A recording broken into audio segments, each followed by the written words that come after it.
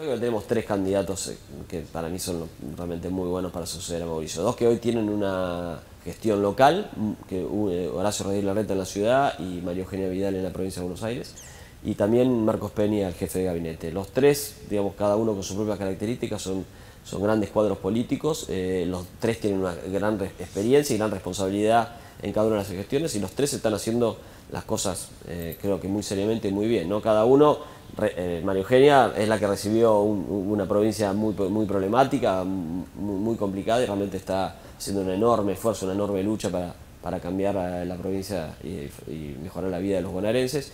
Horacio en ese sentido la tuvo un poco más fácil porque creo que el proceso de, transformación de la ciudad se vio claramente, pero él está haciendo realmente, eh, era una gran un gran desafío para alguien después de los ocho años de Mauricio poder mantener y continuar y creo que el resultado del 22 mostró cómo la gente sigue valorando la gestión de Rodríguez Larreta más allá de la candidatura de, Carrió.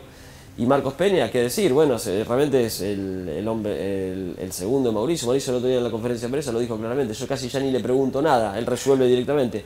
Y yo, yo trabajé mucho, lo conozco Mauricio, he trabajado mucho con él les puedo asegurar que Mauricio eso no lo dice a, nadie, pues es muy estricto, muy exigente, si lo dice porque realmente Marcos Peña es realmente un hombre brillante.